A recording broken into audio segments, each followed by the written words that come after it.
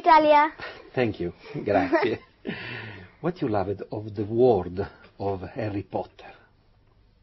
Um, I think it's a fantastic movie and um, it's been very well made. And what you like of your character? Is character very funny? Is beauty? is speedy? Um, I think Hermione has a great charisma. She's very funny and she's got some great lines to say. I think that the fact that she is bossy, um, goody two shoes, swotty, teacher's pet, the know-it-all, that's why she's so funny. That's why um, she's such a fantastic character.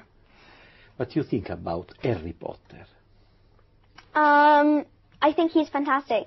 Um, he's a very good actor and he played the part very well.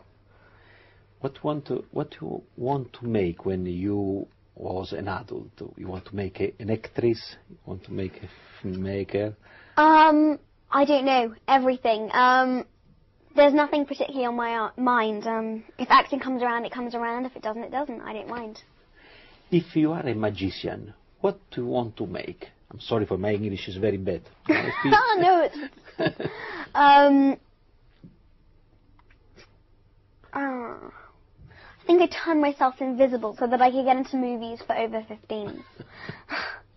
what do you think? What do you think about the experience on the movie? Is fun? Is um, tie? Um, I think it's very funny. It's got some great lines, but it's also been very faithful to the book. Um, I mean, obviously they had to take some parts out of it because otherwise it would be a day long, and people have to understand that. But it's been very well done. When you returned in your school, what say you, your your friend?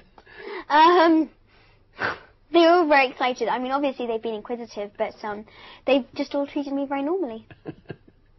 Thank you very much. Grazie. Yeah, same to you. Ciao. Ciao.